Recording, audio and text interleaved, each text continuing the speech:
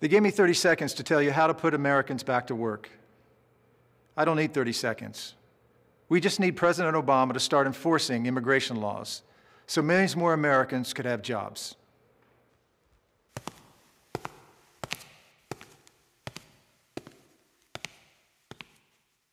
Put Americans back to work. Call the White House at 202 456 1414. Paid for by the Coalition for the Future American Worker.